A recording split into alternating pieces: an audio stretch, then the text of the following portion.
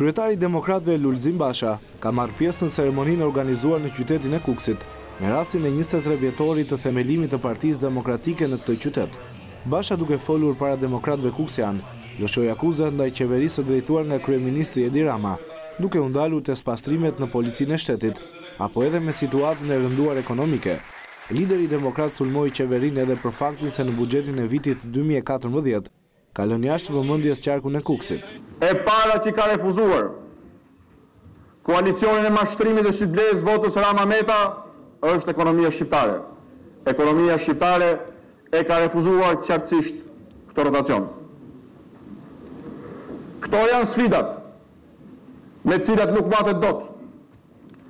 Prandaj E vetmja vegël dhe instrument që i ka mbetur është agresiviteti. Agresiviteti që buron nga pasiguria. Agresiviteti që buron nga paaftësia.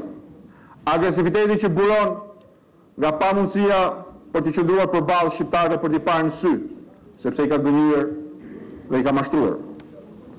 Agresiviteti kundër Kushtetutës, dhe shkelmimi që i bëri me rastin e ligjit për nëpunësin civil, për të nisur spastrimet famëkeqe anembanë administratës publike të vendit, agresiviteti ndaj institucioneve të pavarura, spastrimet e policisë së shtetit dhe kthimi i saj në një polici partiake. Tritoli politik, si e vetmja metodë dhe mënyrë, që tregon qartë para çdo shqiptari, se para se të jetë një qeveri e mandatuar demokratikisht, ky grup njerëzish e shikon veten si banda e Arturo Uisë.